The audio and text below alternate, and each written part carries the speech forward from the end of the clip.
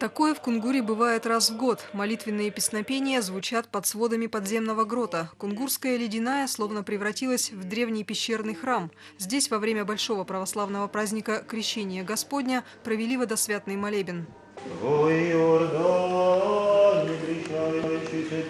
Господи. В Кунгурской пещере несколько десятков озер. Чин Великого Освящения совершен на самом крупном из них – Большом подземном. Его площадь более километра, а глубина до пяти метров. Температура воды приближается к нулю. Тем не менее, из тех, кто пришел на службу, а это несколько сотен горожан и туристов, нашлись желающие окунуться в освященные воды озера.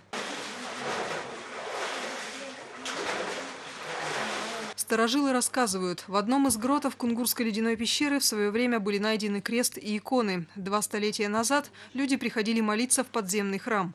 В течение нескольких последних лет вновь появилась традиция проводить под карстовыми сводами крещенские литургии. Глаз Господень на водах вопиет глаголя. Ну, я четвертый год уже. Мне нравится здесь. Как своеобразный дух. Кроме духовного очищения, люди идут сюда и за телесным оздоровлением. Как утверждают экскурсоводы, воздух здесь чист и насыщен ионами и помогает избавляться от многих недугов. Юлия Зыкова, Василий Дурепинских, телевизионная служба новостей.